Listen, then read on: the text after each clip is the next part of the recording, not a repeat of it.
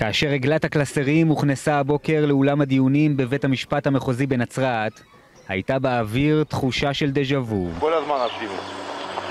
אני אמות אבל האופטימי שלי נשאר. לבית המשפט הגיע זדורוב בלבוש אזרחי מבית הוריה של אשתו אולגה, שם הוא נתון במעצר בית. התרגל לחיים עם ילדים, משחק. גם אילנה רדה, אמה של תאיר, הגיעה לבית המשפט.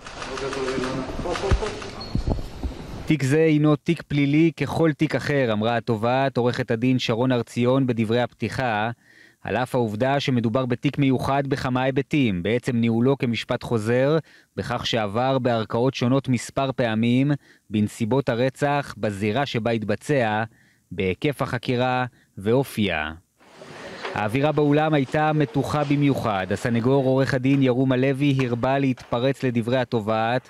החוקרים עשו לזדורוב מעשה רמייה, אמר, אוי ואבוי מה שקרה בתיק הזה, פשוט תפרו אותו. אתם טוענים שזדורוב הוא אדם מניפולטיבי, אבל אתם המניפולטיביים, פרקליטות המדינה. בשלב הזה התערבו השופטים ואף התריעו כמה פעמים כי יטילו על עורך דין הלוי הוצאות כספיות. תנו הוצאות, השיב להם הלוי, אתם לא מאיימים עליי, פה לא יהיה משפט מכור. העד הראשון במשפט הוא יורם אזולאי, בזמן הרצח רב פקד ראש צוות החקירה, כיום ניצב משנה קצין אגף חקירות ומודיעין במחוז הצפון של המשטרה.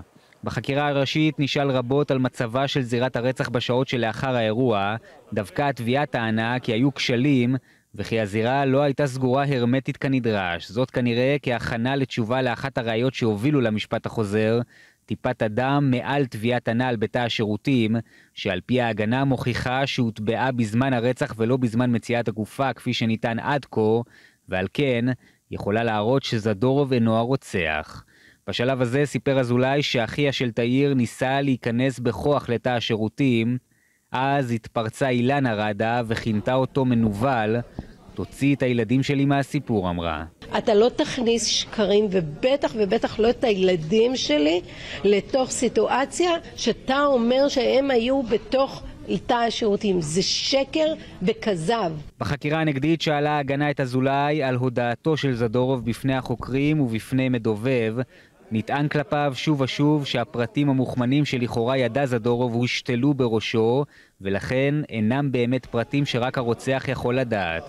אולגה זדורוב, שבשלב מסוים הוצאה מהאולם מכיוון שגם היא תידרש להעיד בהמשך המשפט, כינתה את אזולאי שקרן. הוא משקר, הוא מנסה להתאים את עצמו לגרסאות של התביעה, בונה כבר uh, סיפורים מתוקנים, ו... זה, זה מאוד קשה לשמוע כשאתה יודע שזה שקר. הרגיז אותי מההתחלה, הוא חתיכת שקרן.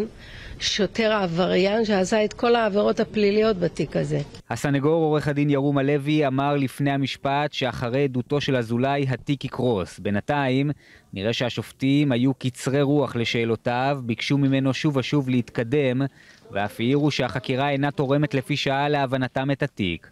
אבל זהו רק יום הדיונים הראשון, ועדותו של מי שהיה ראש צוות החקירה בתיק הרצח של תאיר ראדה תימשך ביום ראשון בשבוע הבא.